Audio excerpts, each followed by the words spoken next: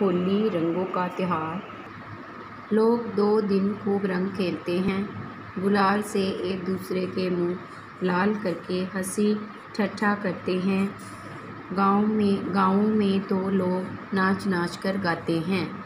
होली के दिन, दो दिन लोग खूब रंगों से खेलते हैं। एक दूसरे पर लाल गुलाल लगाते हैं। और एक दूसरे से मज़ाक करते हैं।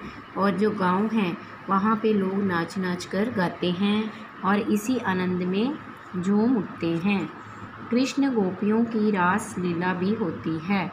होली पर कृष्ण और गोपियों की रासलीला होती है। दूसरे दिन, जिसे दुलंडी कहते हैं, लोग संध्या समय नए कपड़े पहनकर अपने मित्र गणों से गले मिलते हैं। एक दूसरे को मिठाई आदि खिलाते हैं और अपने स्नेह संबंधों को पुनर्जीवित करते हैं।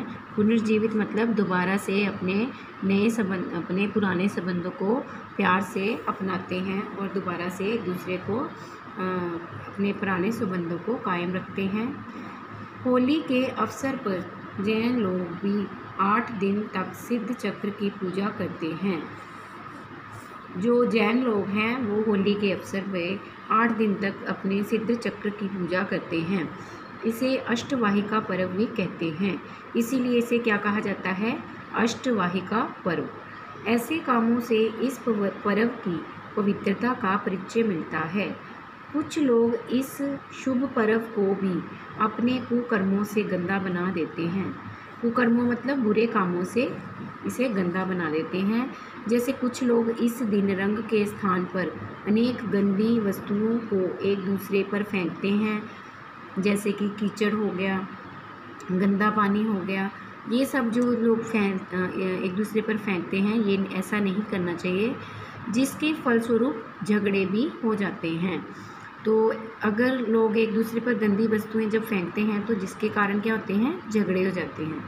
इसके अतिरिक्त कुछ लोग इस दिन भाँग, शराब आदि नशे की वस्तुओं का भी प्रयोग करते हैं।